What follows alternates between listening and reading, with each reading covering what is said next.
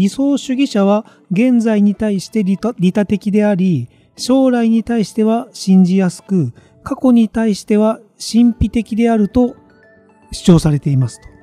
彼ら NF の自然な場所は理解への道であり、自然な時間は明日ですと。他のタイプがこれらの点をどのように見るかは異なっていますと。したがって理想主義者の友人たちは利他主義への献身において例えば我々よりも快楽主義的でないまたは、えーと、ストイックではないまたは実用的でないっていうことが分かると違いが明確になってきます。というところで周りを見る際の利他主義的オルトルスティックインルッキングアラウンドまあ利他的利他主義的に周りを見るっていうことなんですかね。私たち全員には視点があり周りをどのように捉えるか。つまりここと今に対する私たちの視点があります。私たちの性格は私たちが開発し守る視点の種類を決定し維持しますと、まあ、視点を定めるってことですね。アーティザンの視点は快楽主義的でありアーティザンというのは SP、はい、ガーディアンの視点はストイカルストイックってことですかね。禁欲的でありこれ SJ はい、えー、合理主義者 NT 合理主義者の視点は実用的ですと。これらは全て理想主義者アイデアリストの利他主義的の視点とは異なります。利他主義は自己中心的であることは悪であり他人のために尽くすことは善であるまた別の言い方をすれば無償で他人に与えることを通じて自己犠牲を伴う場合でも最大の幸福は自己を犠牲にせずに他人に提供することから得られるという信念です。これは4つの世界観の中で最も形事情学的なものであり、常に懐疑的な合理主義者は時折理想主義者の動機を疑問視し、利他主義のリターンが自己満足である場合、逆説的に理想主義者は他人に与える際に自己中心的であり、利他主義は無償で他人のために行動しているという錯覚に過ぎないと考えることがあります。利他主義の人は大変ですね。えっ、と。人のためにしなければいけないで行動してるけど、それは結局自分のためなんじゃないかとか言って思い出すってことですよね。なるほど。はい。でも結局そうですよね。どういうことですか？自己満足だよねって。自己満足だよねって言って、それは良くないってループするって話じゃないですか。人のためにってやってるこれは結局自分のためなんじゃないかとか言って。でも、越に言ってると思いますけどね。はい。で、それがまあ本当は良くないんじゃないかってなることもあるって話ですよね。か、はい。まだ足りないと思ってるかですかね。人のためにが。人のために、まあ人のためにやっても、はい、これ結局自分のためにやってんじゃないかみたいな、勝手に自己嫌悪みたいな感じじゃないですか。またそれもかっこいいです、はい、はい。しかし、理想主義者は逆説に非常に慣れており、この他者のために犠牲になるという目標に対して非常に誠実ですと。これは合理主義的な会議派であることで知られるマーク・トゥエインがあのトム・ソーヤを書いた人ですね。彼を魅了した利他主義者のオルレアンの乙女、ジャンヌ・ダルクについて感じたことですと。何が彼女の頭にその奇妙な考えを植え付けたのでしょうかと。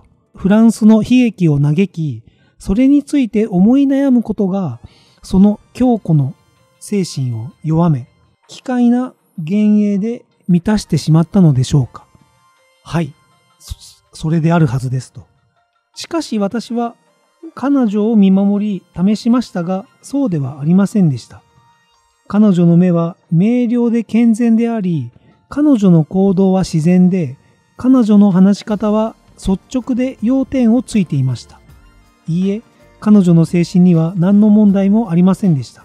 それはまだ村で最も健全で最も優れたものでした。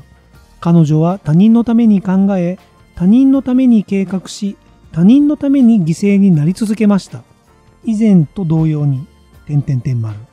彼女は引き続き病人や貧しい人々に奉仕し、旅人にベッドを提供し、自分は床で寝る用意がありました。どこかに秘密があったかもしれませんが、狂気はその鍵ではありませんでした。もちろん、ジャンヌ・ダルクのように、利他主義で成人のような理想主義者はほとんどいませんが、普通の NF 型の人々でもしばしば自分の人生を他人に助けるために捧げます。理想主義者は誰にでも潜在的な良さを見ており、その潜在能力を育て他人が成長し発展するのを手助けするために喜んで自己を捧げます。これが NF の人々が教育や宗教の仕事に惹かれる理由であり、宣教の、宣教、あの、宣教師の宣教ですね。宣教の仕事もまた彼らに呼びかける理由であり、地球ボランティア活動や平和部隊も同様です。しかし、利他主義は理想主義者にとってもう一つのより求められる目的を果たします。それは自己実現。他人を最優先にすることは NF 型にとって自己中心的さや自己中心性を克服する最良の方法であり、これを彼らは自己実現における大きな障害と見ています。したがって NF 型は自己中心的さを捨てることで自分が誰なのか、世俗的な恐れや欲望に縛られない本当の自然を垣間見ることができると信じています。そしてその絵がはっきりと見えるにつれて彼らは自分の内部にあると信じている霊的な本質、そこに一歩でも近づくと考えています。ガンジーはそれをこう説明しています。もし私が自己実現のために完全に地域の奉仕に没頭している自分を見つけたら、その背後にある理由は自己実現への欲望でした。私は奉仕の信仰を自分のものとし、神は奉仕を通じてのみ実現できると感じていました。はい。どうですか？こんな人いるんですかね？こんな人っていうと？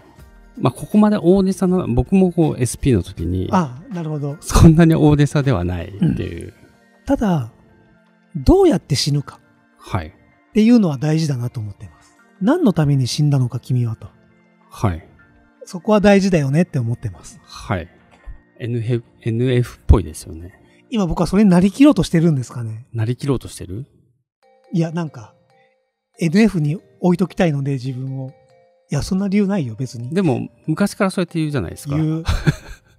でもなんて言うんでしょう。人が死死んだりするのは悲しいですよね。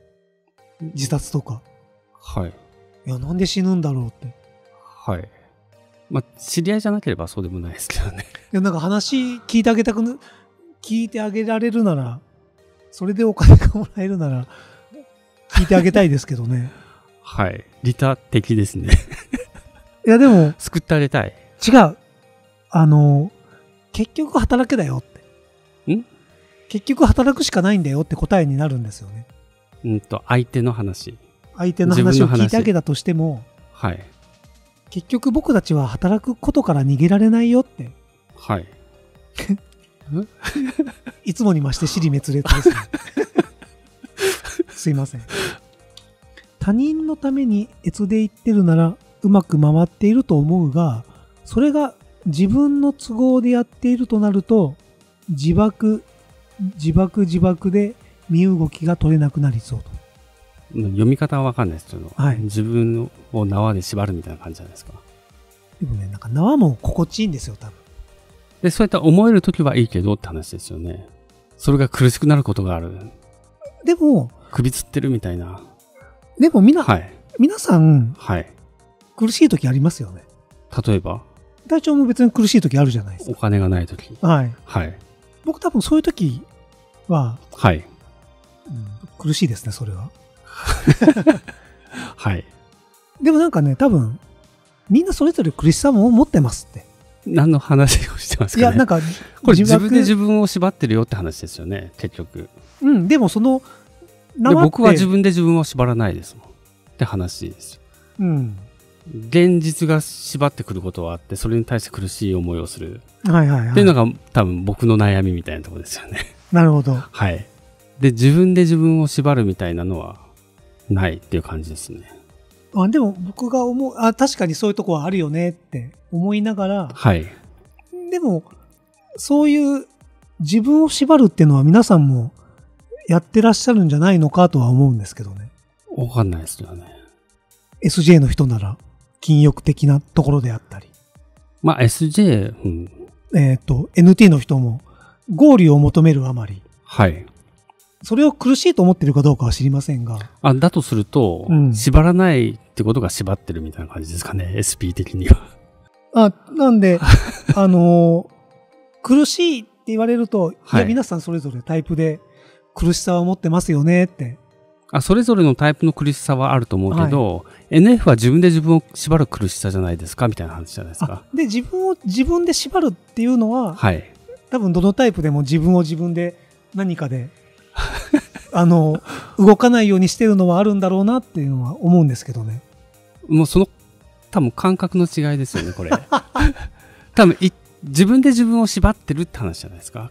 NF は、うん。っていうことなんじゃないかなっていう。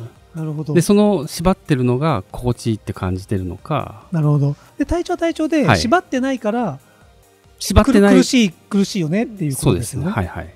縛ってなさすぎて。縛ってなさすぎて。ああ。っていうことですかね。えっ、と、自情自爆と読むらしいですね。はい。こんな言葉あるんですか？あるんじゃないですか？ごめんなさい僕縄々に見えました。縄じゃないです。縄と縛る。ああ、なるほど。はい。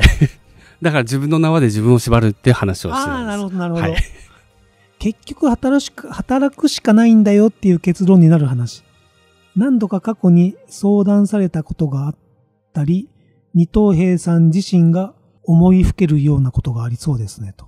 でも、人のために働けるって、素晴らしいことじゃないですかって思うんですよ。あ、まあそう思いますぐらいの感覚ですよ。だって働くってそういうことですもんね。うん？お金になってるってことは、はい。感謝の証ですもんね。はい。そうです。はい。そういうことです。はい。自立を自分で縛るという表現するとわけがわからなくなると。相手や他者ありきで行っていることのはずなのに、結局は自分ありきという NF にとっては求めていることと対立している方向に進んでいることになって、それはうん。苦しい動き方がわからなくなるのではと思ったと。はい。僕もそう感じました。あ今の話を聞いてて、NF の説明を聞いてて、はい。